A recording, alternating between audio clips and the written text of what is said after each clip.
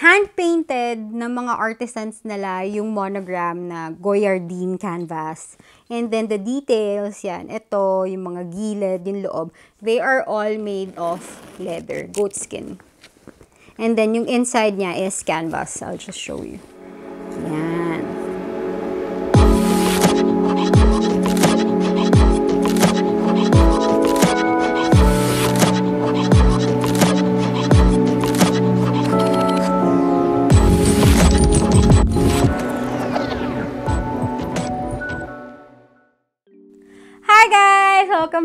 My channel. Today is going to be a very special episode because for the first time, I'm going to feature the things that I'm currently loving.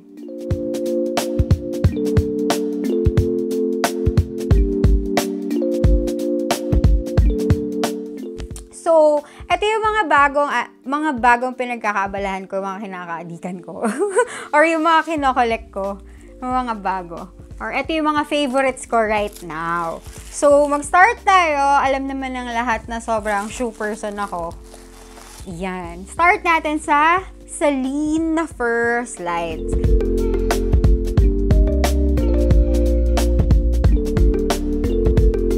I have this in white. I think I've featured it na already or I've worn it in some of my OOTDs.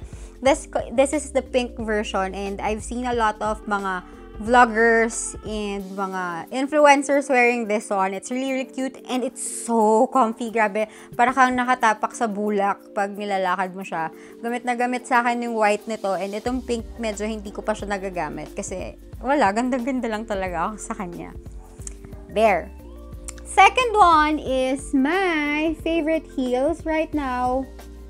They are from Mac and Mac. If you've seen the video of Olivia's birthday, makikita nyo to. I used this uh, during the, ano, the binyag.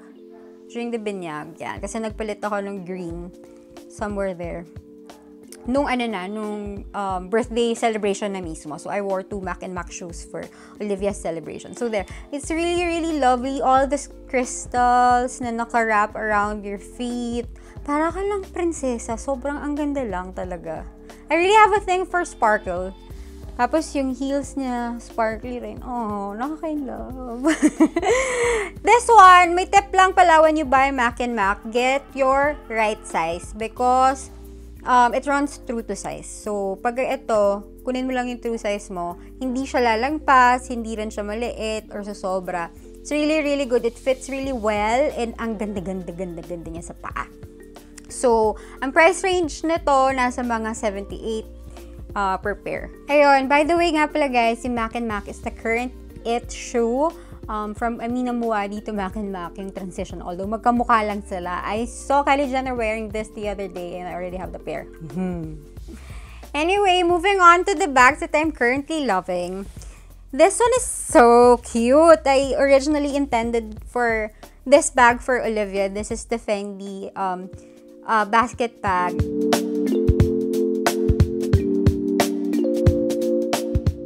Um, ano to, sustainable fashion siya. It's made out of recycled materials. So when I saw it, I bought it because um, I want to support then um, Fendi's campaign for that.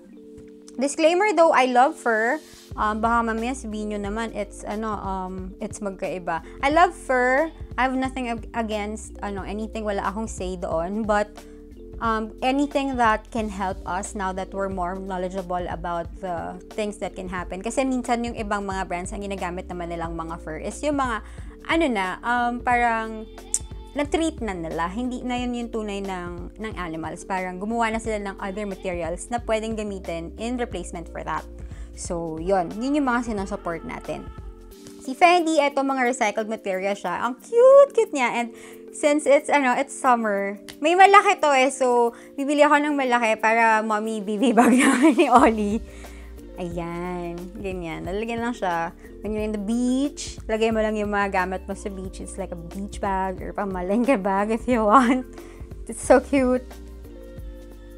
Next, I know that I've shared with you that I'm I know I I'm, I'm so into book totes, but this one specifically is so so limited.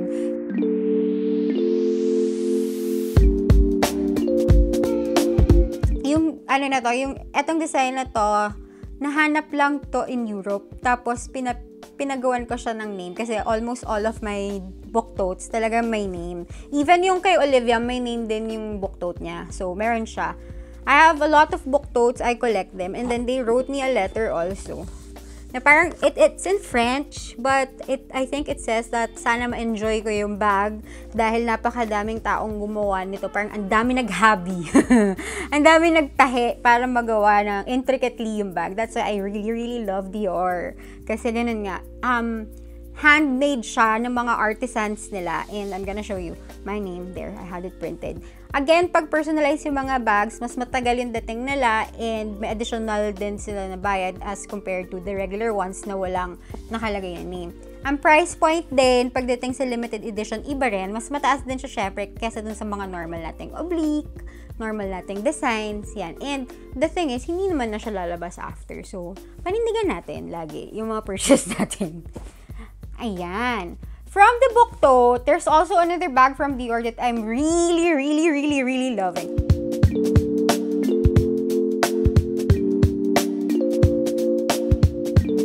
I've always wanted to have a wicker bag because it's so it's so nice. Tas parang native pa natin, 'di ba? I mean, parang ratan. But you know, the thing with wicker is that it's very hard to do. Kaya kapag naglabas ang certain brands at designer brands ng mga bags ng wicker or they call it the raffia sometimes, sobrang mahal. Kasi yung hindi lang yung craftsmanship yung binabayaran mo dito, how intricate it was done and how delicately it was done as well. Kasi magkamali ka lang dito, mapuputol to eh. So, tinan mo, smooth siya, pantay-pantay, ganyan.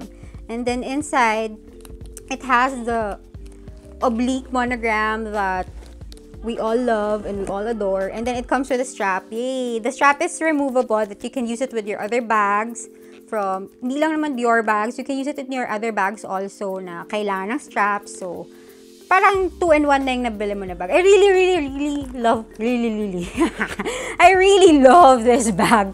Kasi basta, mag it's lightweight by the way, and it's so limited. I inuna ko talaga lahat ng orders bago ako nakuha. Akala ko hindi na ako makakuha for myself, but luckily enough, meron dumating na isa. So sabi ko, yay, it's meant to be. So I, I got it. There. Of course, mawawala ba naman my favorite brand of all time? Hindi yata pwede yun.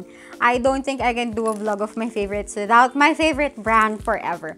This is a Chanel 19 small flap in tweed.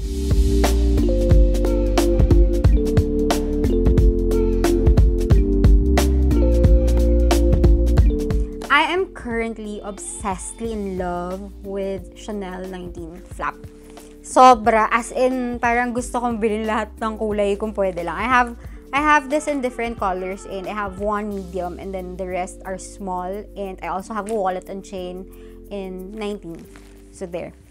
Super ganda niya. I've always wanted kasi a tweed na bag, but hindi ko makita yung perfect na combination of colors. But this one, when I saw this, nilabas pa lang to, sa website, sabi ko, okay, alam ko na kung ano yung tweed na bibilhin ko. Nakita ko pa nga to sa wallet on chain version eh na 19 flap din. But when I saw this, sabi ko talaga sa staff ko, please get it for me. So, syempre, ayun. So, happy me! Yay! Isa sa mga currently loving. Isa sa mga nagpapasaya sa akin. Ganyan. Okay, we're down to our last two. Pagsamahin na natin sila.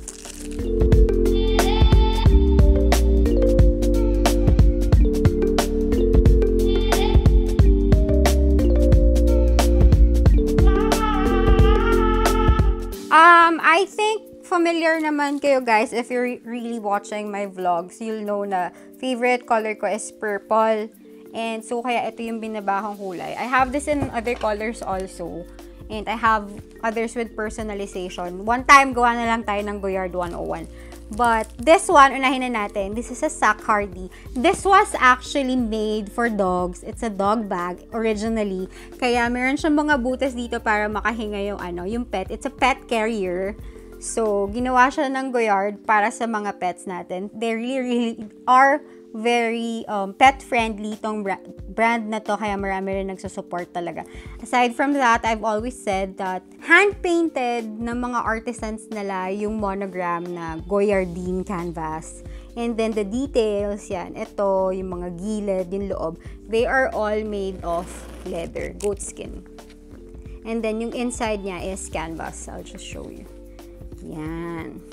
I'm going to tackle pala one time yung, yung favorite niya na how to store your bags properly and what you put inside yung mga ganyan mga puffers. But you have to wait for that because that needs a very, very special episode because there's something exciting coming up for, for that before I do it.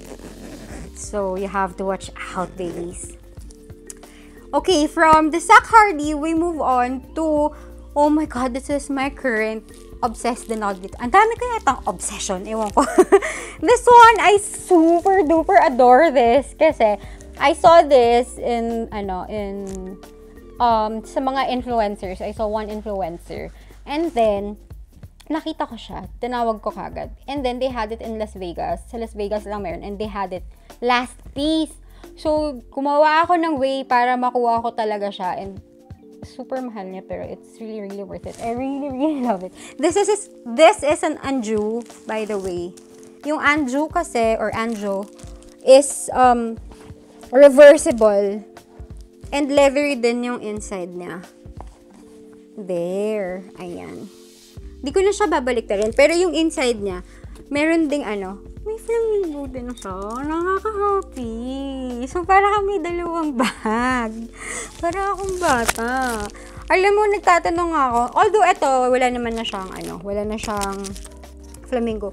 Know, I've been asking them if they have it in other, ano rin, other uh, models kasi I wanted to get myself a Saigon mini ng ganitong color but unfortunately wala. And I couldn't get a notebook also which I collect or a pencil case from this color because it's really really limited and it's the only model that they have in this color. So yun. Super rare siya. Kaya talagang ginawa ko ang ano lahat para makuha ko siya. And yun. Super happy that I have it. Again this is the Goyard Anju with the flamingo. Yun. Super limited So I think there you have it, guys. I'm gonna wrap up this episode. I hope you learned a thing or two from today, and I'm gonna see you guys again soon. Don't forget to like, subscribe, comment down below on what you want me to feature next on my next episodes, share, and of course, the bell button right here. Don't forget so that you'll get to be notified with everything that we do on our channel next. I'll see you guys soon. Thank you. Bye bye.